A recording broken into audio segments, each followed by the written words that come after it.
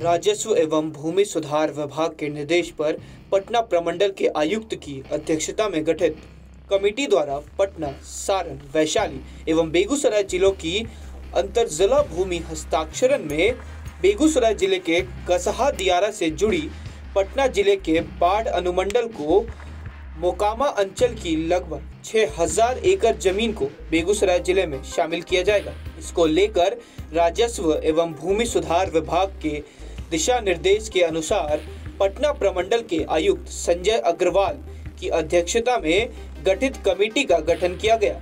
इसमें शारण प्रमंडल तिरहुत प्रमंडल मुजफ्फरपुर प्रमंडल एवं मुंगेर प्रमंडलीय आयुक्त एवं इन जिलों के डीएम सदस्य हैं। गौरतलब है कि अंतर जिला हस्ताक्षरण में पटना ज़िले को सारण से 3,212 एकड़ वैशाली से 331 एकड़ ज़मीन मिलेगी। इसके बाद जेपी सेतु, कंगन घाट आदि जगहों की ज़मीन पटना ज़िले में आ जाएगी। भौगोलिक एवं प्रशासनिक दृष्टिकोण से किए जाने वाले इस भूमि हस्ताक्षरण से सारण, वैशाली, साथ पटना ज़िले के 2500 एकड़ ज़मीन का रकबा कम हो जाएगा। तिरहुत, पटना, सारण प्रमंडल के नक्शे के क्षेत्रफल में कमी आएगी।